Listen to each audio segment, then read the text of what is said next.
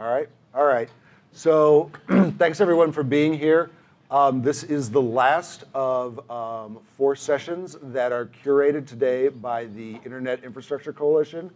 Uh, for those of you who don't know, the Internet Infrastructure Coalition is a group of infrastructure providers, web hosts, registrars, registries that are committed to uh, ensuring that the internet remains awesome. And uh, I'm one of the co-founders of the I2C along with Christian Dawson, who's sitting back there. Um, so if you have any questions, go ask him. Um, the the i2 if you want to go on uh, if you want to look at our website, it's at i2coalition.org. Um, and so what we're talking today about today is um, the future of privacy and uh, privacy legislation. And on the on the panel today, we have five um, diverse people who are really kind of experts in, in privacy. The way we're gonna, I'm gonna work the panel today is uh, we're gonna talk for about half an hour uh, about different privacy related issues, and I'll leave about um, 10 to 15 minutes at the end to talk about any issues uh, that, that you, want, you didn't think got addressed or you want to have, uh, get more information on. Um, so we'll start, I'll introduce the panelists and I'll start right here with Katie McAuliffe. Uh, Katie is the Federal Affairs Manager for Americans for Tax Reform, and she's Executive Director of Digital Liberty. Um, before that, she, she worked for Congressman Cliff Stearns' DC office and blogs at digitalliberty.net, and she is an awesome person to lobby with. Um, she is great on ECPA reform, so I love that. Um, next to her is Greg Nojeim, and Greg is Senior Counsel and Director on the Project on Freedom, Security, and Technology at the Center for Democracy and Technology.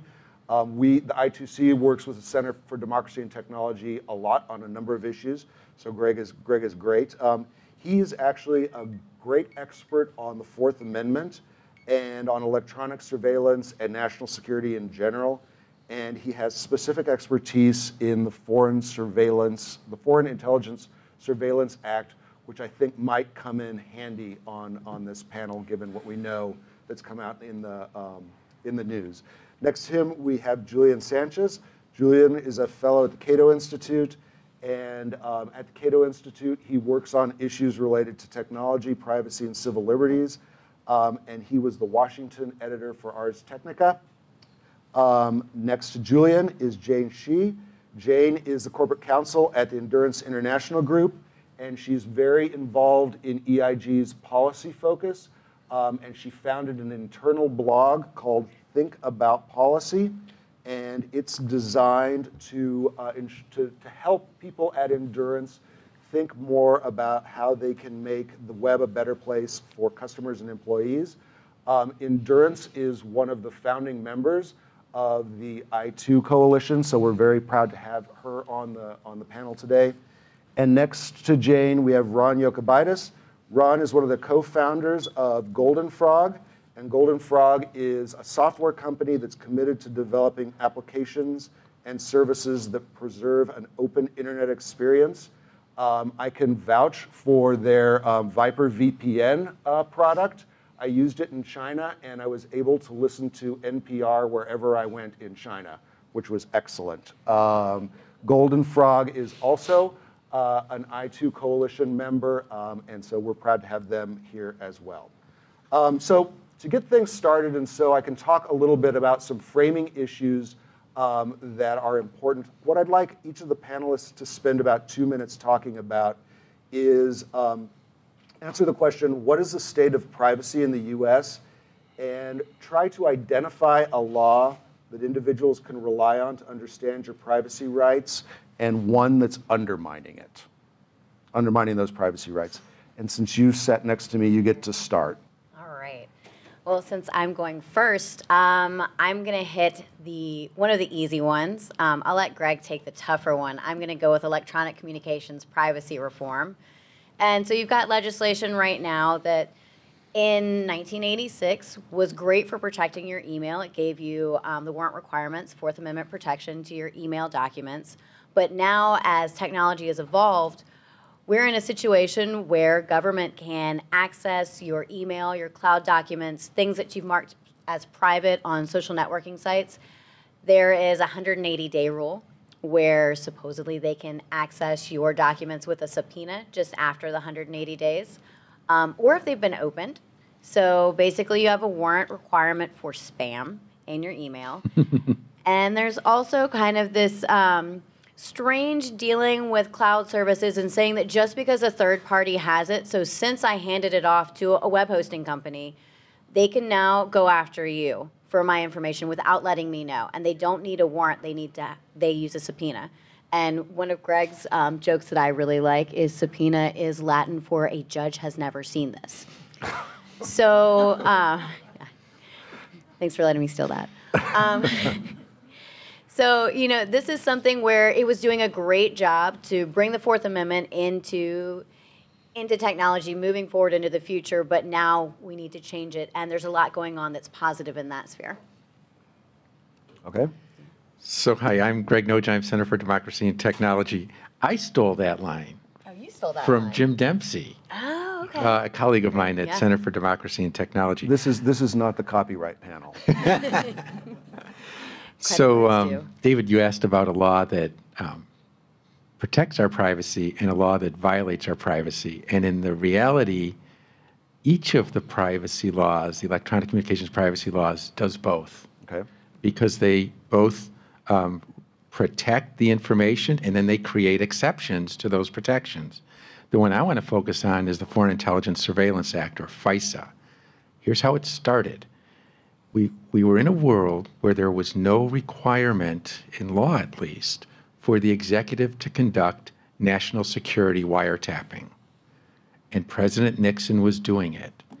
And Congress said, well, maybe we ought to have a court decide whether the wiretap ought to happen. And so they created the FISA court, and they made it so that the government could not conduct uh, wiretapping in the United States as a general rule without going in front of this court and proving that there was probable cause that the target of the surveillance was a spy or a terrorist or another agent of a foreign power or the foreign power itself. Um, that was actually the high water mark for that law, 1978, in terms of privacy protection. From there on in, it was downhill. There was a new there was a new rule that you uh, a few years later they extended it to physical searches.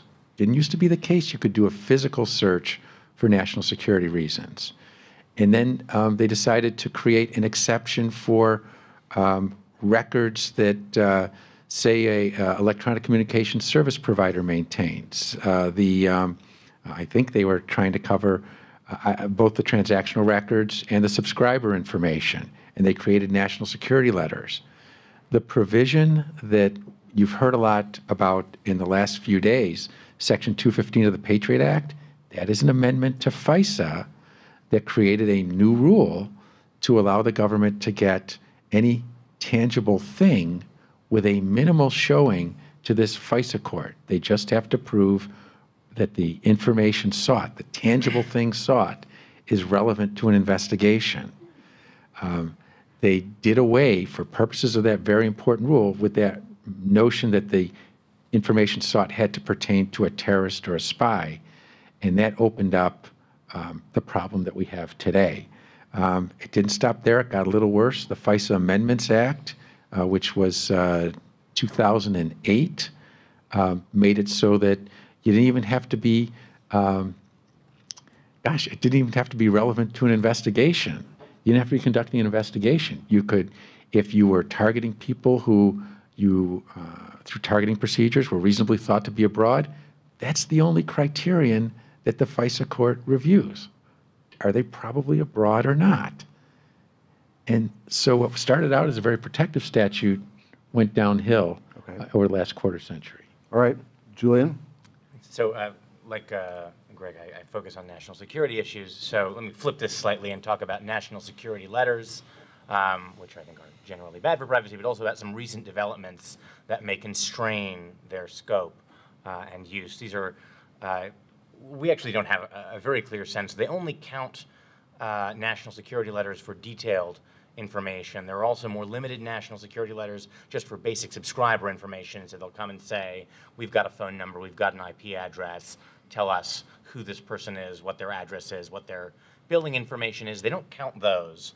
Um, they only count the more detailed ones for transactional records um, that are issued that affect American persons. Um, we know those range from about seven to 14,000 people affected every year. The number of letters is often even higher, so this is something you're not unlikely to get at some point.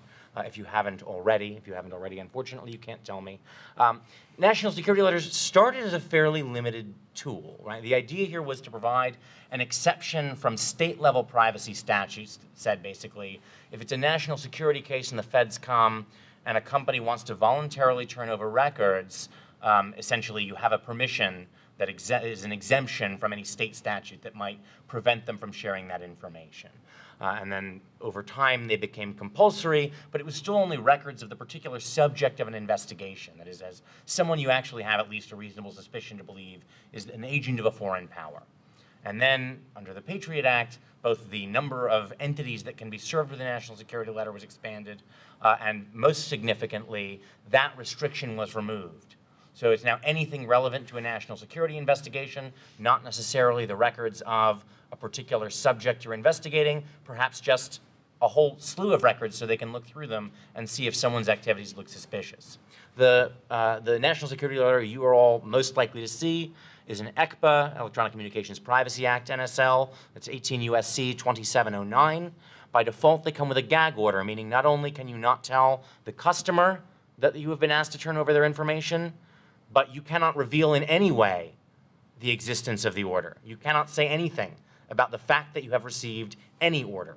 Uh, Google has started negotiating to be allowed to say, well, we've gotten between zero and a thousand this year, and between a thousand and two thousand the year after that. That's after two years of fighting.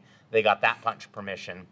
Um, there is, however, a decision in a California court that's going to the Ninth Circuit challenging that particular uh, aspect of national security letters because this is a gag imposed without judicial oversight. This is like subpoenas, but even in a sense more so. These are issued by the heads, the special agent in charge of an FBI field office. That means no judge, not even a federal prosecutor, signs off on these things. And funnily enough, we have a First Amendment, which means normally, without judicial process, you cannot just order someone to be permanently silent about something like, I've gotten a thousand national security letters. I think that's a problem. Um, so the Ninth Circuit will be reviewing that to see whether, um, in essence, this is constitutional, whether the gag provision in particular is something that you're going to be allowed to push back against, given what we now know about the scope of what they've been doing with 215. There's a very strong First Amendment argument that, hey, you can't actually use these in a way that potentially affects thousands of records and not let people talk about a fact of public interest, which is how the government's using these powers. So we've, so we've got, so we've got the First Amendment and the Fourth Amendment Right. kind of in, kind of working with each other. The Fourth Amendment, unfortunately, because of the Smith v. Maryland decision they mentioned, is not in play. Just the second, very quickly, limitation is that in 2008, the Office of Legal Counsel at DOJ said, wait, you've been requesting all transactional information. Again, as you know, the kind of transactional records that are kept by any kind of internet company are often quite expansive. They say, no, no, no, the statute says toll billing records. This is kind of a holdover. Uh, so all you can really ask for is toll billing records or the equivalent of toll billing records, phone bill information, not the entire universe of transactional data a company might store. We don't really know what that means, and I've seen redacted versions of letters since then with real long lists blacked out of what they're asking for, suggests they may still be asking for more than that. Um, so just be aware that if you get one of these, um, it's not clear what the limitations mean exactly, what the internet equivalent of toll billing records are, but they may ask you for all transactional data. It doesn't mean you can or, or legally ought to hand over all transactional data. All right, so, so we've kind of, we've gone, got ECPA, FISA, NSLs, Jane, um, what, what's left? Yeah, I, um, I don't know if I can really compete with that. You're very kind to call me an expert in this area, but I think that my distinguished co-panelists on my right are far more expert than I. Um, I will say, though, that I think in answer to your question that um, you know, customers perhaps look to the Fourth Amendment, our Constitution, that protects us from unreasonable search and seizure. Um, I'm speaking at a very high level here. And I think that what undermines that is interpretations of what that means through um, all of the laws that have just been discussed. And in addition to that, interpretations of what those laws allow. I think what's interesting about what's come up in the recent NSA leaks is that there has been a focus on warrant for content under ECPA. And what this latest episode, I think, reveals is that it's not the content, but actually what's being called metadata can be far more powerful in revealing what we do on a day-to-day level. So right. I think that's what's of concern. Ron, you get the last word. Okay, thank you. Um, Supposed to get this close and talk. Okay, uh, afternoon, everybody. Ron Yokubaitis with the Golden Frog, uh, VyprVPN, and uh, we've been in the internet business starting in '94 uh, down in San Antonio, Texas, uh, with Texas.net, uh, first ISP down there. So we've been hooking up people when you had to spell internet for them, you know, and been doing it since. Uh, That's a, internet providers or cloud computing companies. Uh, You had to host uh, email, Usenet, for those that uh, remember the internet before uh, the mouse clickers took over with the web. But nevertheless, uh, we uh, have been lobbying for privacy since uh, 05, 06. We filed with the FCC trying to, you know, petition our government for redress of grievance. Wouldn't you all like to know that the carriers using deep packet inspection are totally invading your privacy? And uh, we found no purchase with uh, uh, either party cared. It was just a dull thud. So we've been, you know, talking privacy and being active on it since then. Um after a while, I, I, I decided, being a good Boy Scout, as we operate networks globally, uh, wasn't getting anywhere, you know. So we just decided to start a company. Don't get mad, get even, that would encrypt you and give you some level. I call it, you know, to y'all from the Northeast, you don't have uh, guns, but down here in Texas, you know, we're not at the mercy of carjackers. Uh, so I call it the Second Amendment uh, for the internet. If you don't have a VPN, get one and uh, encrypt inside of a secure tunnel because they are snooping. And if you, but they'll go snoop just like a robber will go rob the one that looks like a victim rather than somebody that looks like it ain't gonna mess with you. Well, you just want to make them not mess with you because I don't think there's any legal anything. So we, I'm a lawyer by education and practice. I've practiced law, so uh, I'm a I'm an operator from practicing law down in the trenches and uh, litigating, uh, criminal and civil. And I was doing that when I started the ISP with my wife and and my oldest son. And uh, uh, we're still, uh, but we're operators. I get tr- a tremendous amount of uh, queries from law enforcement for subscriber information uh, in our data center business, uh, search warrant for stuff we can't get them. And it's a constant education process. I'm starting to think, why do we even keep records? Just tell them, look, go ask the NSA. Okay, so, so we have, we have, we have encryption, encryption is, a, is, is the same as guns now. That's, Well, you've got to defend yourself. well, okay, all right. So we have, we have encryption, guns, um, NSA, NSL, FISA, and ECPA. Um, I, I think, I think we're, we're, we're hitting all the, uh, all the, the constitutional issues that might, might actually be talked about right now. So let's, let's talk about ECPA um, real quickly. So ECPA, ECPA is something that the I2 coalition is working um, pretty hard on uh, to advance the, um, the, the, rep, the changes to ECPA that are pending uh, on the Senate. So why don't we talk a little bit about ECPA? Greg, why don't you talk about what, what the amendments um, are proposing and what, what the future might be and, and what we're looking to do? So as, uh, as Katie said, right now the law says once email is older than 180 days old, and DOJ says once you open an, a younger email, it's not protected by the warrant requirement. And on top of that, everything you store with a company, so you can come back to and use from wherever you are, everything you're just storing and you're coming back to, That's not protected by the warrant requirement either. Rule made sense 27 years ago when it was adopted, and there was no World Wide Web, and you know, storage was expensive. And I know what I used to do. I would download my email into the computer and I'd print it out. I mean, and the providers, they couldn't save um, email for a long time. So that rule that made sense in those days, if it was more than six months old, it was probably abandoned, makes no sense today.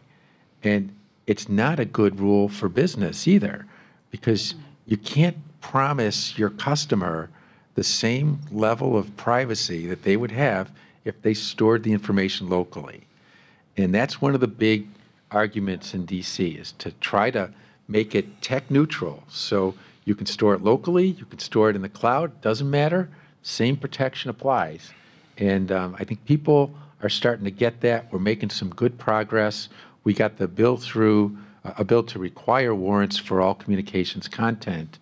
We got that through uh, Senate Judiciary with no bad amendments on a voice vote. Um, It's ready for the floor. We've got one big issue to iron out uh, or win on before we um, get to the floor, and then we move on to the House. Um, So I think on ECPA reform, we're making the best progress out of probably any electronic communications uh, privacy issue. So, so Katie, why don't you talk a little bit about the one big issue that we, that we, that we have to deal with? And this is this proposal, I guess, well, I'll let you, you, you talk about um, what's being proposed. So there is discussion uh, to include an amendment that would kind of create a new warrant standard or an exception for civil investigations for federal agencies. That means your whole alphabet soup of agencies would be able to kind of bypass this structure and not need a warrant. So we're talking about organizations like the SEC, the EPA, um, FCC, FTC, all of these different organizations. The reason that's a problem is because you know one of these people is um, the IRS would no longer have this kind of well, the IRS clearly doesn't want to be reined in at all. So clearly, this exception would be a bad idea. I mean, it would be an amendment that lets the IRS say, yeah, we can still read your email. It says it in their handbook that they can read their, your email. They took a step back, and some of the hearings on the House side, they've stepped back saying, oh, the 180 day rule isn't really, you know, something that we follow, and there's no reason for that to be there. But then by adding this exception, you really walk all of that back. So these agencies would then also they would have the ability to start a civil investigation and bypass the warrant requirement. But then anything that goes on in a civil investigation can be shared in a criminal investigation. So now you've got this information that bypass the warrant requirement for a criminal investigation. It's shared over there. And then also for civil investigations, there's a lesser standard than there is for a criminal investigation. Why why does that make sense? So, eh, you know, and the reason that they put out there is that, oh, you know, the SEC needs to go after these financial people and the frauds and yada, yada, yada. 99% of the time, the person perpetrating the fraud is an employee of one of these companies, and the employer is more than willing to give up all of their email with a direct subpoena right to the employer. You don't need to go to the third party, it, you don't need to bypass. I mean, when you send a letter through the mail, that's protected our email, our cloud storage, our expectation of privacy and how the Fourth Amendment should translate needs to move forward into the 21st century. This is it's really ridiculous to put that exemption out there. I, it it just doesn't make any sense. Okay, so, I mean, what's, what's the prognosis for this? Do you, are you willing to speculate, Greg? Does, are we going to get this onto the floor uh, without an amendment? I, Yes. I think we will get it under the floor. I think that there won't be an amendment. I think an amendment will be offered. I think we stand a very good chance of beating it. Excellent. Just add, we're, we're, you know, we're talking about the sort of depressing state of this. We should add, right, that uh, with, at least with respect to content, stored content, email content, if you're in the Sixth Circuit, so Kentucky, Michigan, Ohio, and one other state, um, there's a, a ruling from the uh, that circuit court saying, actually, forget federal statute. The Fourth Amendment protects that. So if they come, if you're in one of those states and the uh, they come to you saying, here's a subpoena, we want old emails, you can say no. Uh, in this circuit, no way. In the Ninth Circuit, we know that Google Microsoft, a bunch of other companies have been successful saying, because it's not, the, the Ninth Circuit rulings are not quite as explicit on this question yet, um, but there's favorable rulings in that direction. So those companies have also been successful in basically saying, no, if you want content, we're going to tell you to come back with a warrant. And in practical terms, if they've got to go to a judge anyway to fight to enforce the subpoena, they sort of may as well get the warrant. And so they've been successful in the Ninth Circuit also in pushing back. So while it's important to get these reforms, um, it's not necessarily that you must turn over content, um, you know, in response to a subpoena or a lesser order, like a 2703D order. A lot of companies have said no warrant and been and been successful in that. So don't don't think you can't push back if they don't come to you with a warrant. Right, you can push back, but it's one of those, like, the, the law needs to be clarified because the courts have clearly moved too slow to solve this issue on their own. And, you know, a lot of times you can say, maybe you don't know where your, your customer might be located.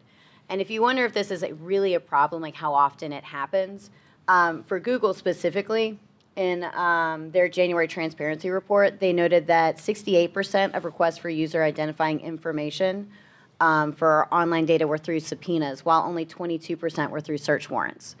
So, you know, I don't know if that's a function of the Sixth Circuit decision or some of these companies pushing back, but it's clear that this is something that needs to be straightened out because it should be 100% of user identifying information through a third party is done through a warrant and not through a subpoena. So, so let's, let's talk a little bit about, about that. Yeah, you have something you want to, want to add? I, I, I, I- you know, even though I'm a privacy advocate, I think it's unworkable to require a warrant for just basic Yeah. subscriber information. But as we were talking earlier, uh, Julian was, once you want content of email or your web browsing or whatever it is, uh, s- a, a warrant. I think the issue, and you, you, I don't know your name, the, the lady over there. Katie. Katie. Katie, sorry, Ron, uh, I can't see the names and I don't have a prompt, that, um, the, I think a problem is gonna come up between a criminal warrant, and they say they have a warrant, but they call it an administrative warrant, and the probable cause requirement for a criminal warrant, they say, as you said, that there's a lower standard for the administrative stuff. And that's, that, uh, there's no, it's a slippery slope. Well, Ron, let me, let me ask you this. Why, why are you making a distinction between customer data, just kind of basic subscriber information and content? Why, why is that an important distinction that you want to have made? Why not just have a warrant for all information that your customers give you? Every warrant's gonna be a John Doe warrant. They don't know your name, they don't know anybody, they don't know a date, they don't even know if they are a subscriber of yours. So just basic, yes, we have a subscriber, you know, at that, uh, IP address on that date and time. And, uh, they're thus and so, their address, which can be totally fictitious. And the requirement that how they paid, you know, from check, money order, cash, credit card. Right, and But those. beyond that, warrant. And Yeah, we I mean, put that- I'm gonna skip, I'm sorry. No, yeah, well, the transactional data is also, that's important for being able to, to build the case so that you can have a probable cause warrant for the content. Yes, So, yeah, and that's, I mean, that's, you know, the subpoena for that from the third party is fine, but then a warrant to go to the actual holder of the content for, you know, to come directly to me and say, go through your, you know, I need email that's on this particular topic. Because you can't have a third party go through and do the process of, of sifting through what is and what isn't, um, you know, germane to the investigation, right? My, an email to my grandmother shouldn't be going to law enforcement. And you know, there are other personal things that shouldn't be going out there. So I should have the ability to go through and figure out what is and isn't belonging to the investigation So Greg, you have, you have a, you have something Yeah, you just to to, just to clarify, the world that we kind of want to move toward is this one. If the government wants, and, and we got to account for the law enforcement interests, right? They, they need to build an investigation with the lesser intrusive um, information and build up to probable cause and uh, get a warrant, but it, they only get the warrant when they're pretty certain that the information um, uh, is about a real crime. So you start with the least intrusive information, the subscriber information. Who belongs to this email? where do they live, how'd they pay for their bill, that kind of thing you get with a warrant, with a, I'm sorry, with a subpoena. Um, and then you move up to the transactional records. Who did they email? Who emailed them? Um, that kind of information you, you get with uh, a thing in ECPA that's known as a 2703D order. It means you got to go in front of a court and, and prove not probable cause, but um, a standard called specific and articulable facts that the information you seek is relevant and material. Um, next level, final level, you get the warrant, and for that you've got to prove probable cause that the um, information pertains to a crime. So um, again, climbing up this ladder, that's the world we're trying to work toward. We're not at that world right now because right now you can get a lot of content with just a subpoena. And right now, those telephone records are in the subscriber information category where they really don't fit very comfortably. Okay. So, so I agree with all of that, but just to, I, I also agree with the, the idea that, that basic subscriber information is, is sort of one of these categories that you sort of have to let them get with a subpoena for this reason, right? Um, warrants have to be particularized, right? So if it's a warrant, it means you got to have a reason, you got to be able to show by probable cause that this particular place, in this case meaning, let's say, this particular data storage facility or company is a place where I will expect to find the evidence.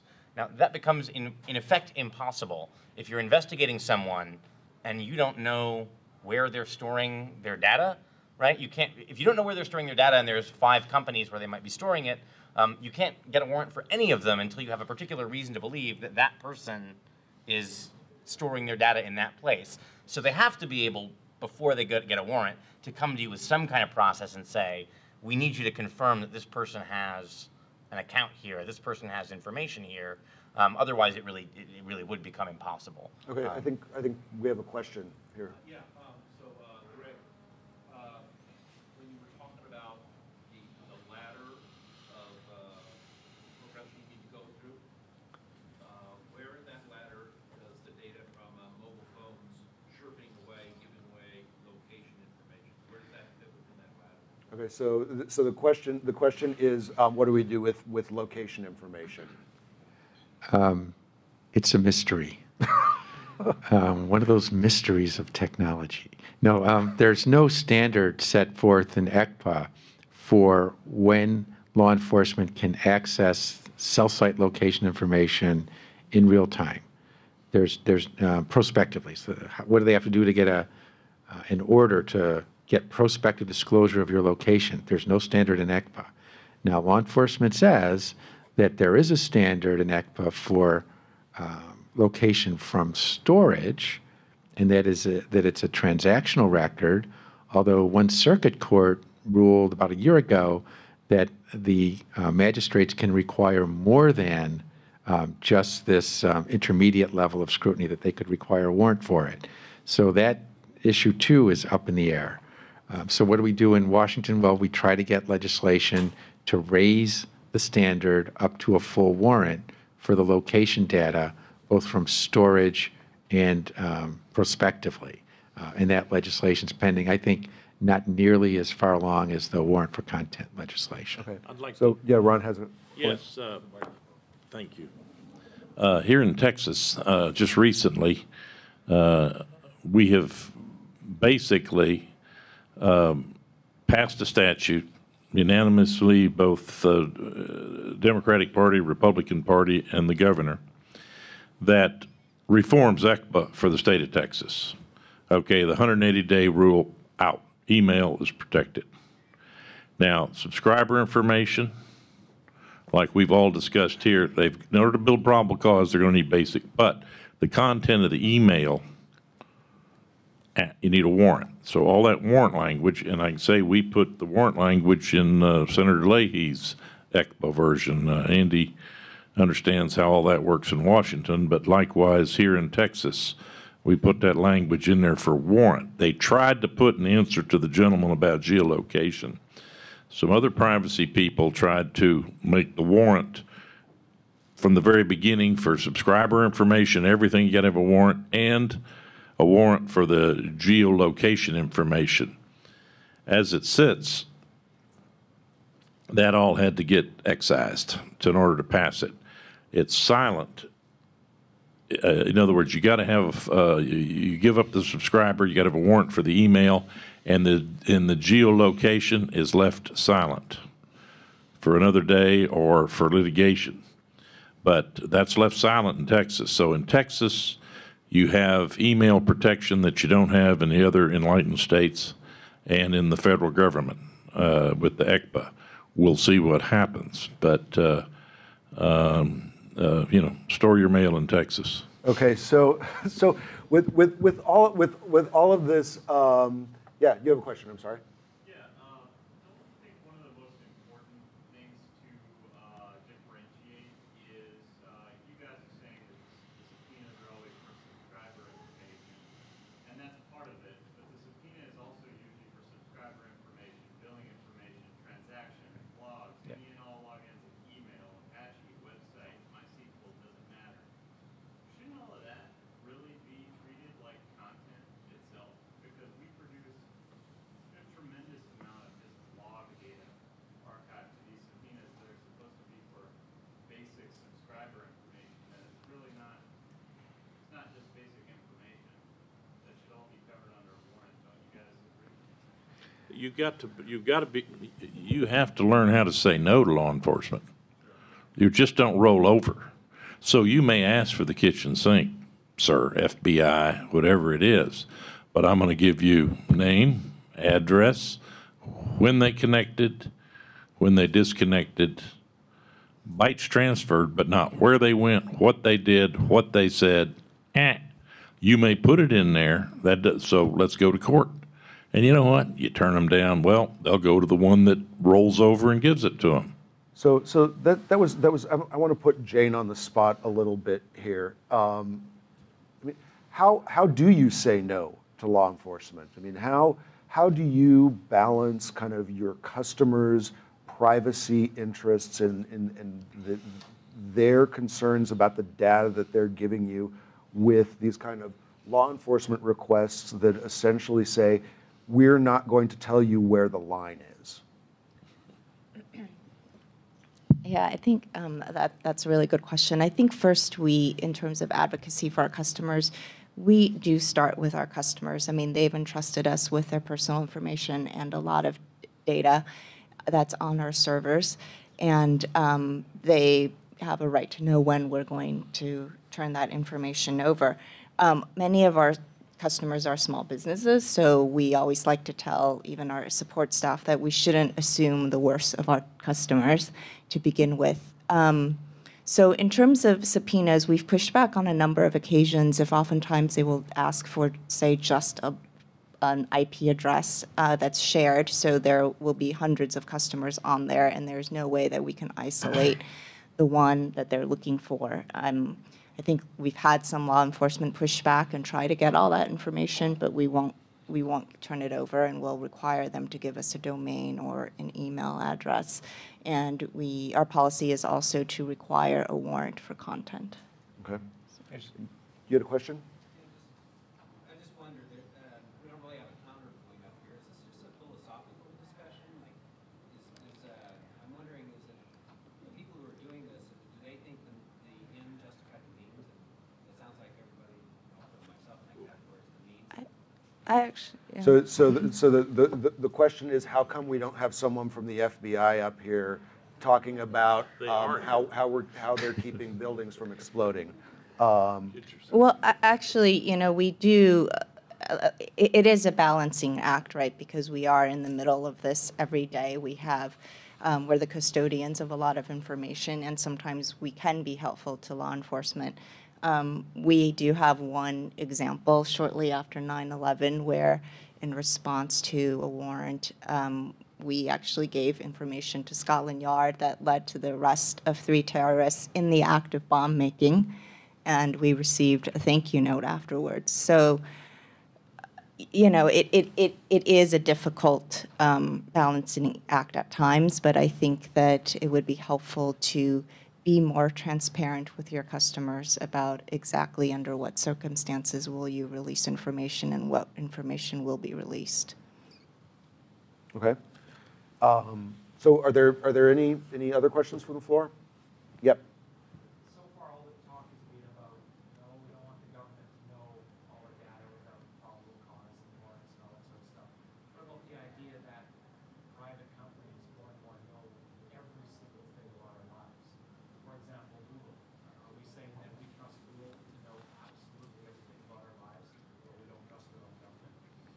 So, so why, why is Google different than the FBI? Well, I mean, you're also looking at an, an aspect of choice, right? So I can choose to use Google, or you can choose to use something um, like DuckDuckGo has more privacy protections, or even um, Microsoft and Bing. You know, they have they have different ways of you know using your information or not using it. And so that's a there's a choice there whereas this is something where the government can take this information and actually prosecute you.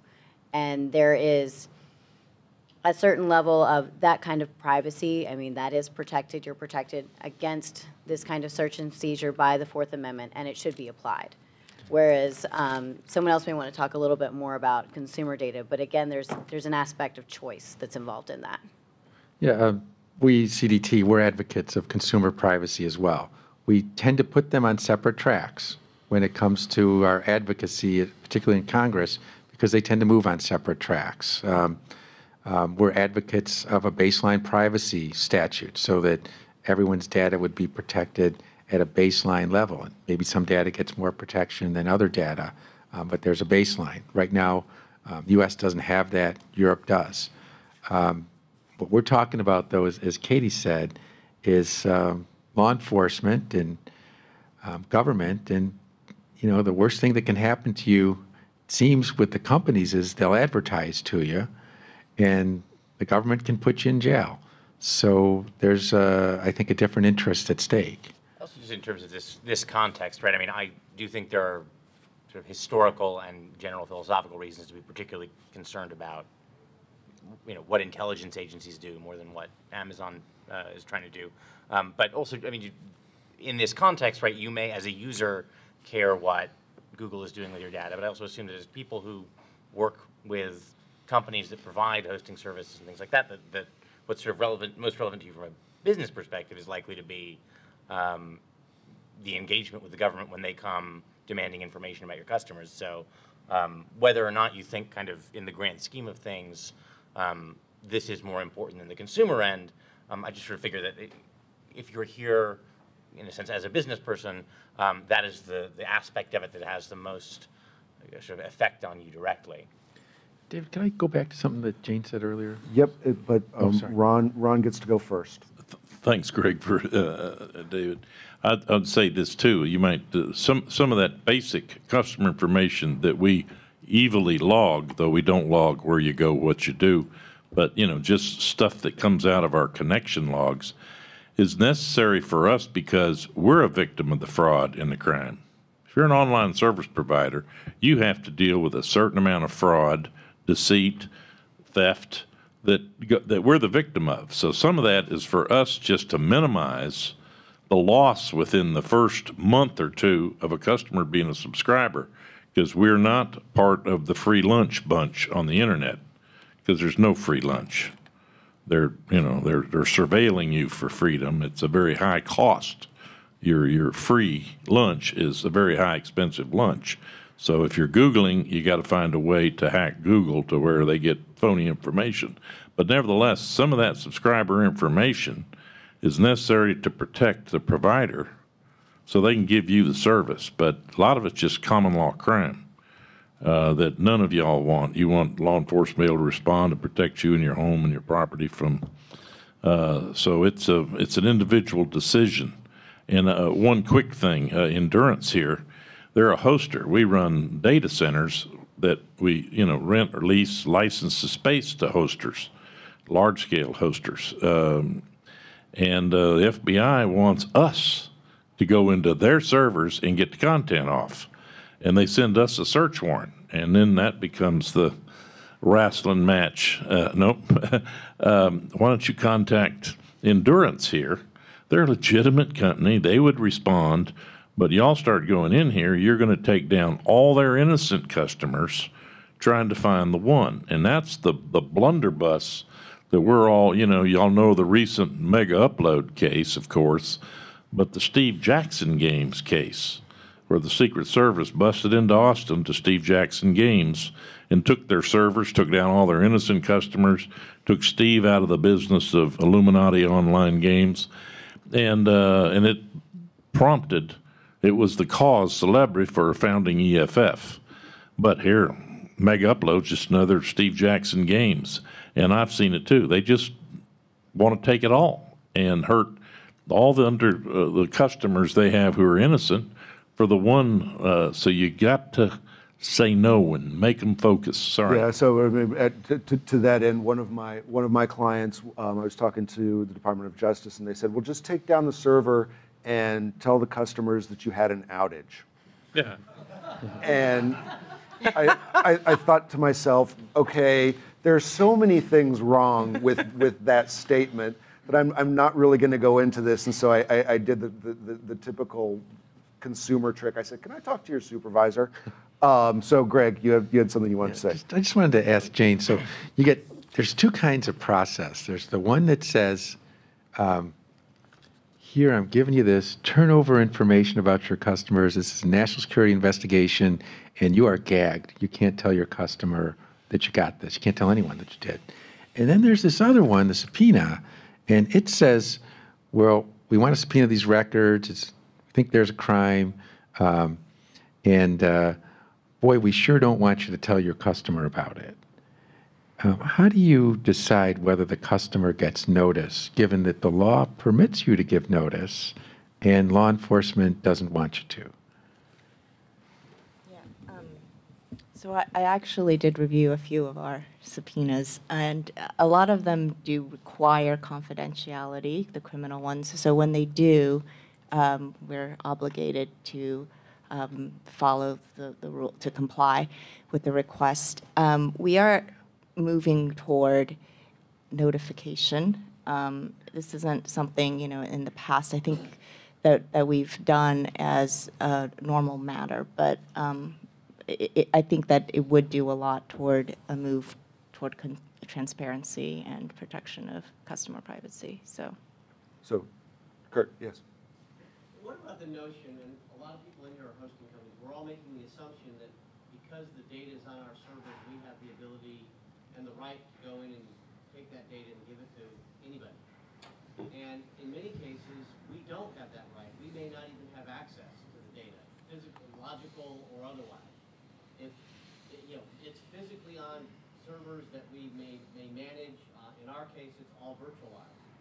So, um, you know, there are dedicated servers for each individual, but, and, we have, the we know that we could say snapshot the volume, and that's a customer's data, but we don't have the rights to it contractually or legally, because it's not our data. We don't profess to do any data management or any logical access control.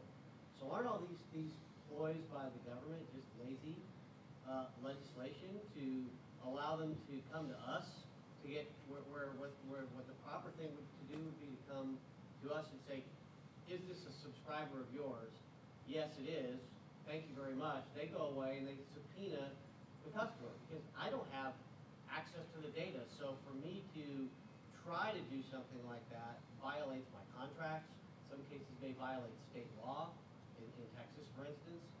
So, I mean, where does that come down? It seems like we're all assuming that because we have the data that it's ours to turn over, but it really isn't. I mean, it's like the landlord, right? If you're a landlord of a ten, uh, of a rental house, you may have a key, but your, your rental contract states that you don't have the- the unfettered ability to walk in the house at any time. Right, I use the storage locker analogy all the time. So, Well, one of the things that would, would solve this issue in particular for you would be if the legislation that was put out by Senator Leahy and Senator Lee, um, which also Senator Cornyn and Senator Cruz have been very supportive of, if that were passed, then it wouldn't be a question for you anymore.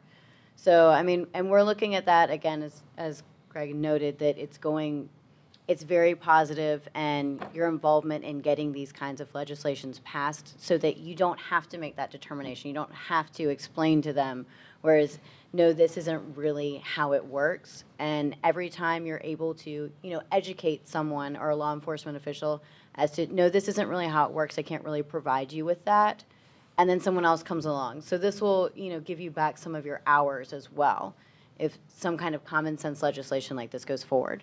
So that's, that, that's, that's, um, does, does anyone have any questions on the floor? I'm, I'm fixing to wrap things up. Up, yep.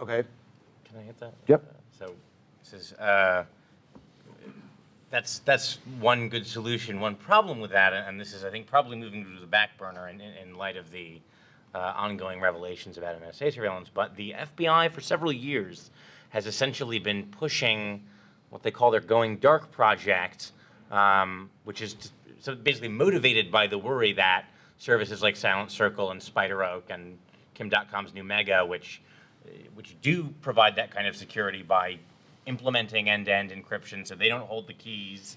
Uh, meaning, even if they're compromised, the the information is secure. That's a model we're seeing uh, you know, sort of rolling out increasingly.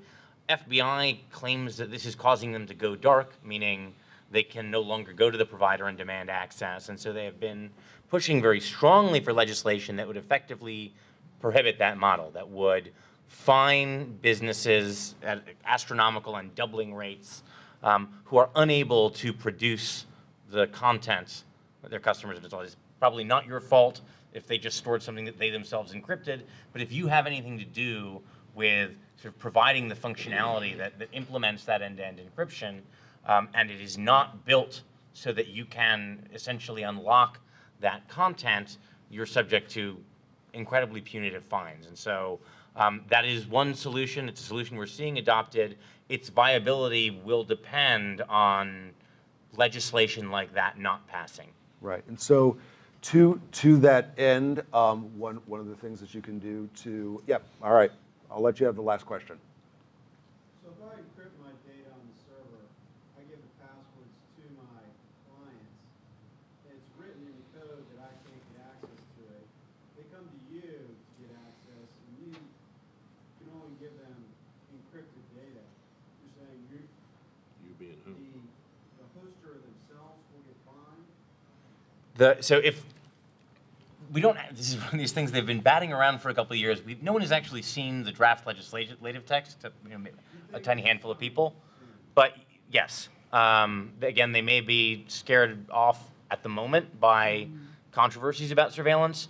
But my understanding of the proposal is that, so, right, I mean, if, if you just have Dropbox and a user on their own machine, you have nothing to do with it, has encrypted a file and uploaded it, then that's not your fault. You, you, you give them, you, you can give them essentially what you were given in the first place.